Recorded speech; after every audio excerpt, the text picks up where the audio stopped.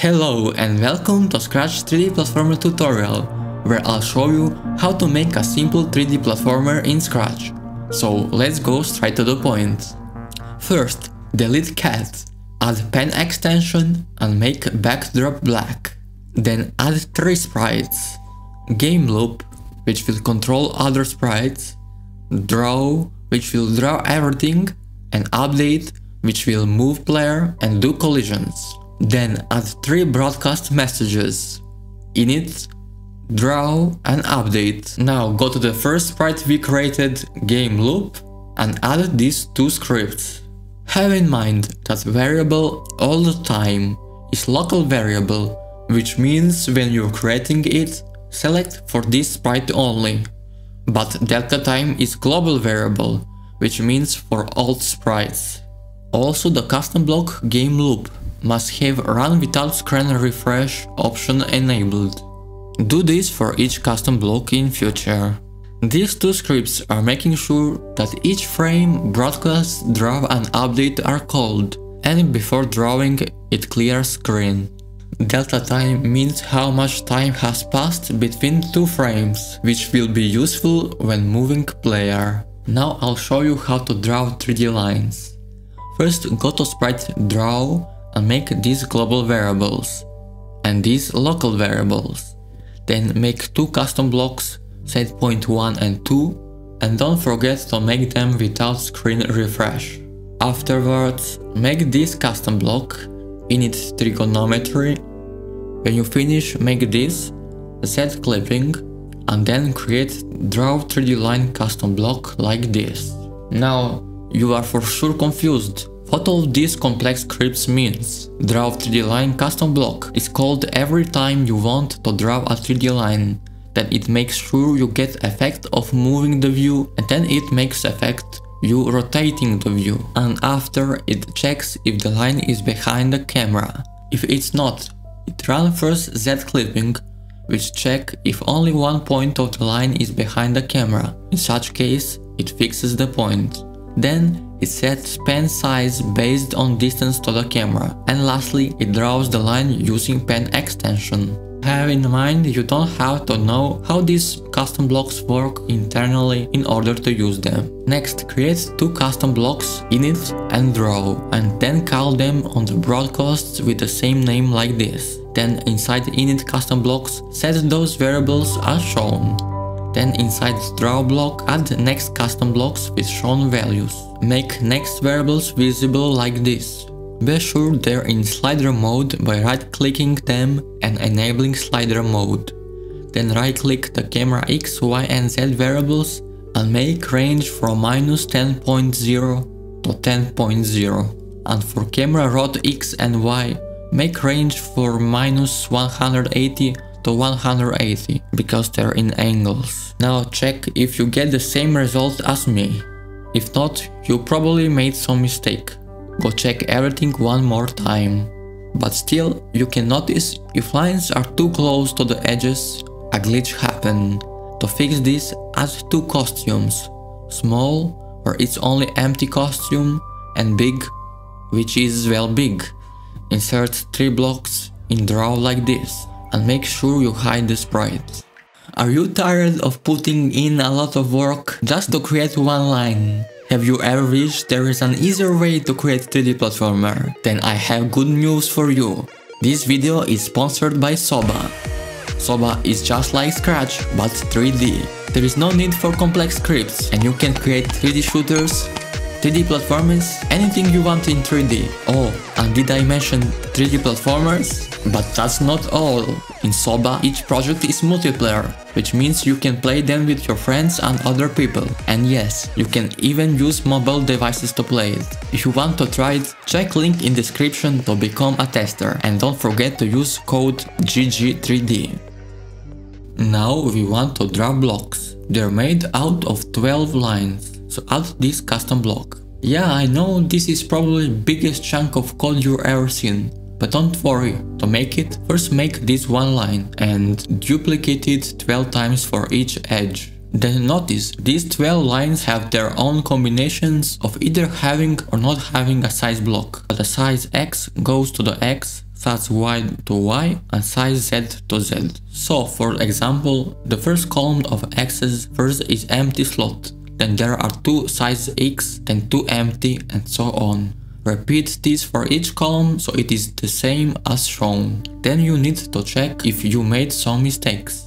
Delete drawing lines and instead add draw block there with next values. You should get the same result as I. If not, check everything again. Now we only have a single block drawn. Now we need to make it work for multiple blocks. First thing you need to do is to create a new sprite and name it levels. Next, create these 7 global lists, have global variable named level, and lastly add new broadcast name init level. Then in new sprite add these 3 scripts, then add custom block named add block add as shown, and create custom block level 1 with next values, and lastly on the existing custom block init level add this part.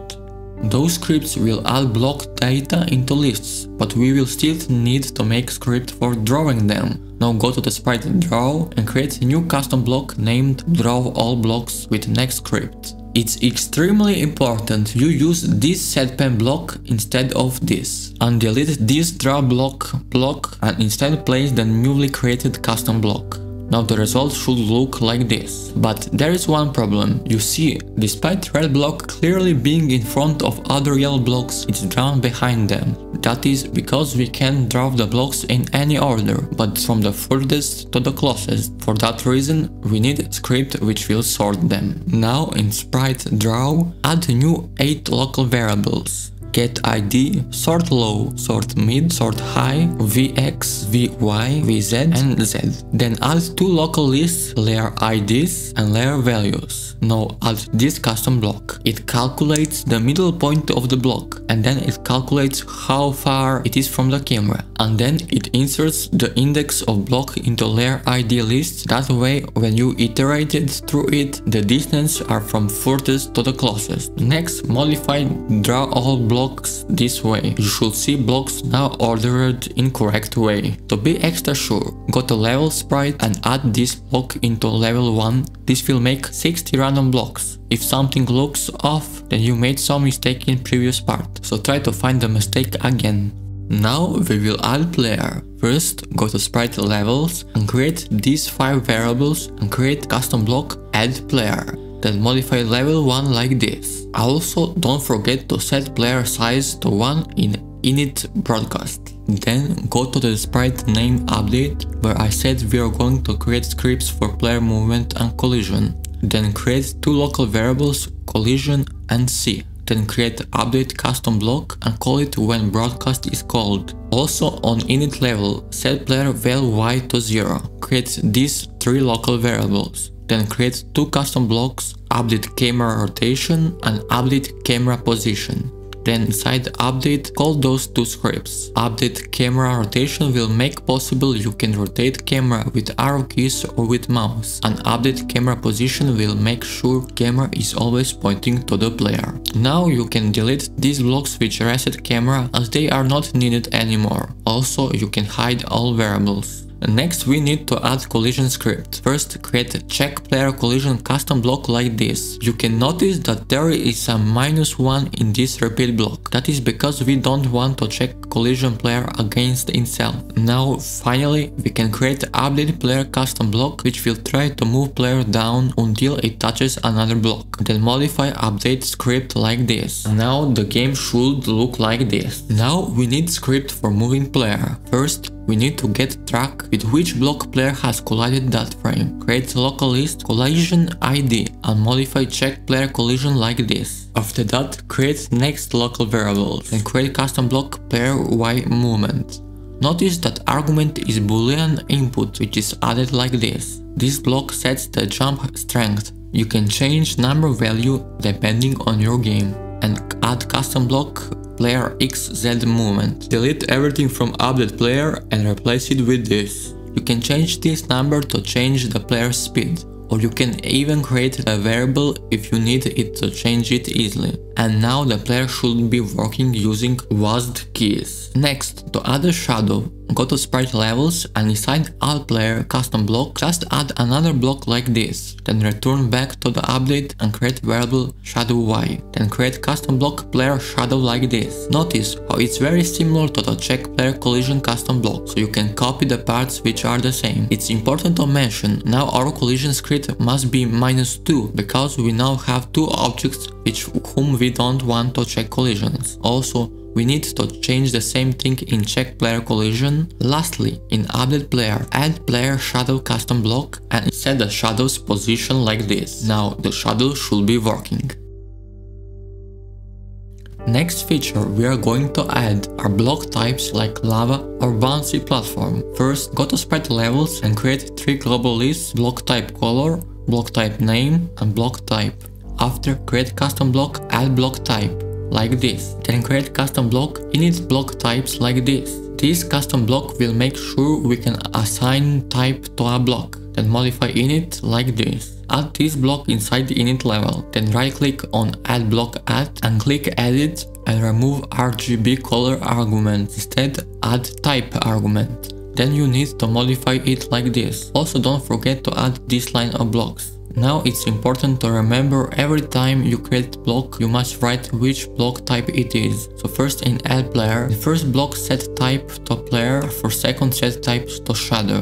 Notice how there are three new variables setting here. You need to create those three variables and do the same. Also in level 1 change the types to whatever type you want. This is my level for example. But still, we need to make touching different blocks types does something. Go to sprite update and create global list collision type. Then make sure you clear a list at start. And then add block type to the collision type after collision occurs. Now after collision, we should check what will happen after. Make those two conditions. One is for when you win and second is when you lose level. Also, we should not forget the bouncy platform but the script for that should be placed inside player Y movement. Place it like this. Now check if everything is working. Now we need some levels to actually play. Create two more level custom blocks like this and create your own levels. Then modify init level like this. If you want more levels, you repeat this process. Now, to actually create interesting levels, this is what I do. First get a paper sheet with square pattern, and create levels by drawing on it in next way.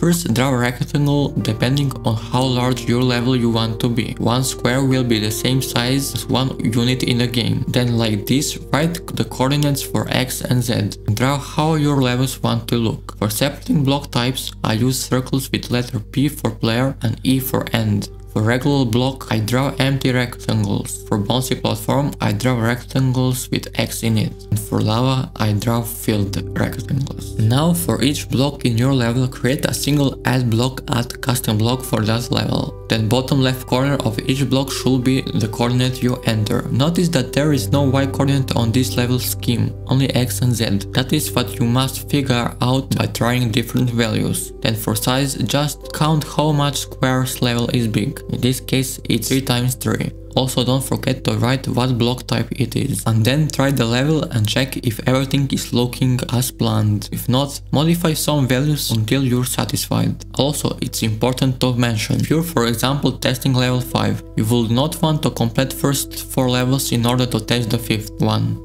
That's why when creating new level, simply in any block set the level to the level you want to test.